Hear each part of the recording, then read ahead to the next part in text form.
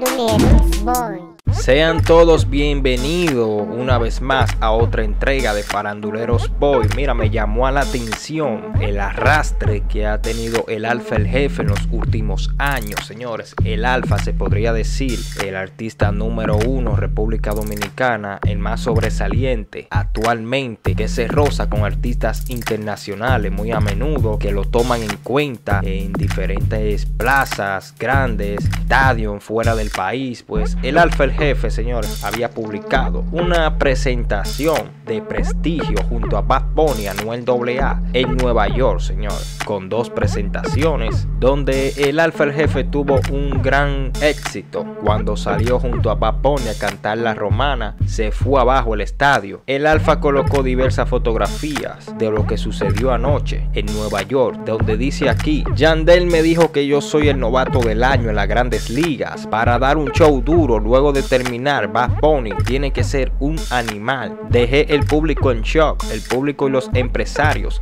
quedaron locos con mi presentación, ya cuadrando mi primer tour profesional. Estas son palabras del Alfer Jefe. Luego de presentarse junto a Bad Bunny a estadio completo, vuelvo y reitero, en Nueva York, señores. Aquí el Alfa confirma de que Yandel le dijo el Alfa que el Alfa viene siendo el novato del año. Recuerden que el Alfa viene subiendo con fuerza, lleva mucho tiempo en el género dominicano, claro está, más de 10 años dando candela, pero saliendo del país ya a nivel internacionalmente, pues Yandel predijo el Alfa como el novato del año. Llamó mucho a la atención un comentario de un fanático donde el fanático dice, no eres el novato del año entre los grandes, es Sesh, pero eres el más duro en RD en estos momentos, falla, falla. Estas fueron las palabras de un usuario que comentó sobre lo que dijo Yandel, que el Alfa era el novato del año. Déjame tu comentario si estás de acuerdo con este fanático que comentó de que el novato del año viene siendo Sech, pero que el Alfa es el más duro de República Dominicana actualmente.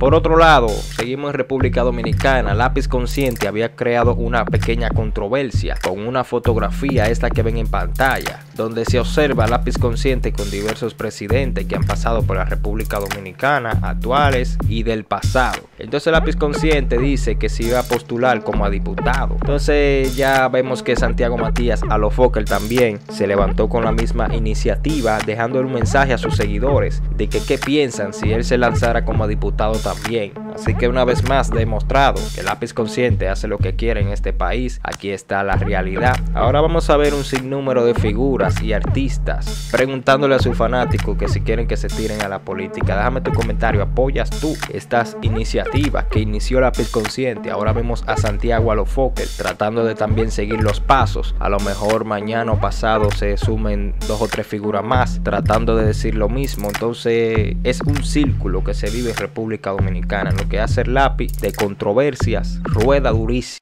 Señores, buenos días. Eh, tenía tiempo, no me levantaba tan tarde, señores, gracias a Dios. Eh, domingo, no me van a creer. Me levanté con la idea de inscribirme como precandidato a diputado por el PLD. Yo tengo 12 años inscrito en el partido. Hoy termina a las 6 de la tarde eh, el proceso de inscripción. Yo dije, ven acá, pero si yo me inscribo como precandidato, ya que hablamos mucho de la juventud, de por qué no eh, somos parte de, de los líderes ¿no? que guían este país. Y yo dije que si personas como yo, que tenemos buenas intenciones con, con nuestro país, con la juventud, no toma la iniciativa, entonces ¿a quién le dejamos el país? ¿A quién le dejamos nuestro destino de nuestra nación? Políticos con más de 30 años en la teta. Y si jóvenes buenos reitero como nosotros no tomamos iniciativa, va a seguir la vaina así. Tengo una hora para inscribirme. Vamos a cambiar de tema. Sabe que Bad Bunny dice que fue J Balvin quien se enamoró de él. Pero no estamos hablando de un amor íntimo. Solo hay que ponerle un poco de picante a la vaina, ¿usted entiende? Fue como una química. Porque yo encontré, como te dije, por fin, alguien raro como yo. Son palabras del colombiano J Balvin para el puertorriqueño Bad Bunny. A escuchar palabras de ambos mientras estaban hablando sobre el proyecto Oasis, que es lo nuevo que llevan en conjunto un álbum, eh, Bad Bunny y J Balvin, Oasis. Vamos a escuchar un poco. Un día que conocí a Benito, ¿tú te acuerdas dónde estábamos? Yo me acuerdo. En el hotel, ¿no? Sí. te enamoraste de mí. Siempre hubo una química, porque yo me acuerdo que yo te dije como que por fin hay alguien raro como yo. Mira, ahí te tiré. En el estudio, a mí me gusta estar en la vibra y a ti te gusta llegar de una y ya. Bueno, ahí ustedes acaban de escuchar parte de las palabras de J Balvin y Bad Bunny hablando sobre Oasis, cómo fue todo paso a paso. ¿Creen ustedes que fue una buena química entre J Balvin y Bad Bunny? Yo personalmente digo que sí, estos artistas son lo más raro que hay en el momento. Eh, a nivel de imagen, cultura y demás. Tienen mucha similitud J Balvin y Bad Bunny actualmente. Así que fue una buena química. Ellos entienden su forma de ser. En ese mismo orden, señores, ustedes saben que Bad Bunny, como le dije ahorita, estaba con el Alfa en Nueva York en una presentación. Y adivinen a quién encontraron en ese concierto. Nada más y nada menos que Alessandra Acot, la ex esposa de Mozart La Para.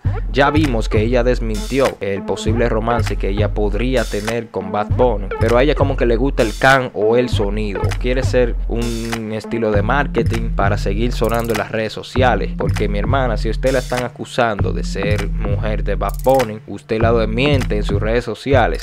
Entonces vuelve a una presentación de Bad como para seguir manteniendo el rumor. Yo creo que eso está muy mal de su parte. Yo opino que hable, que diga lo que es, si es toro, toro, si somos vaca, somos vaca. Tiene que decir la realidad de todo, no estar negando por un lado y actuando por otro. Así que déjame tu comentario, aquí ustedes ven a Alessandra como fue cachada en el concierto de Bad Bunny. Alessandra pagando vuelos desde República Dominicana hacia Nueva York para ver a Bad Bunny. Así también lo hizo con Osuna cuando Osuna se presentó con Anuel AA recientemente en Miami. Fue de aquí, paga su vuelo a ver al negrito de ojos claros. También la pusieron como que era mujer de Osuna escondido. Así que no sé lo que está pasando con Alessandra Acot y este tremendo sonido que siempre la tiene en vigencia en las redes sociales. Hasta aquí vamos a dejar nuestro video el día de hoy, recordándote suscribirte a nuestro canal de YouTube, activa la campanita para que te lleguen notificaciones a ti primero. Recuerda, si no video todos los días, dale like. Será hasta la próxima.